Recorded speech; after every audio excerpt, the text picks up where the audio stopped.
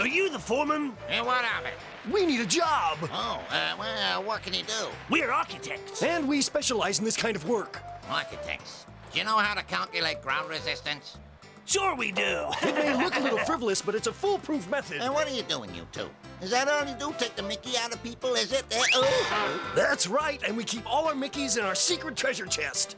Okay, you architects, grab some cement and some bricks and build me a wall. Guess he didn't buy it. We showed him, though. Building this wall has been real easy. We showed him all right. oh, wow. I'll get my car and check the site. Uh, uh, oh, no, I don't believe it. It can't be true. I don't believe what I'm seeing. That's my car. Hey, you two, what are you doing to my car?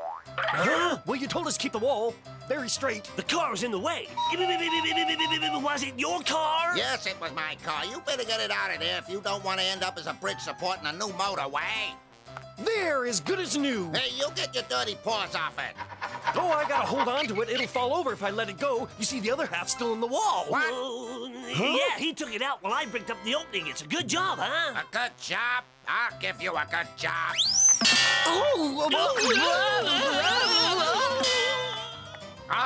come back. There's still plenty of work to be done if you want a job.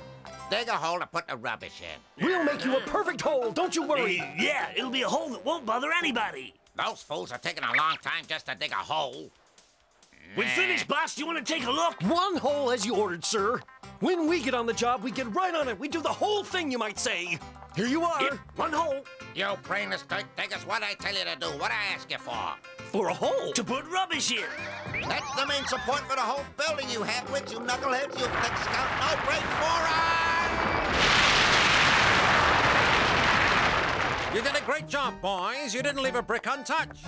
But that was the wrong building. You wrecked the new TIA building.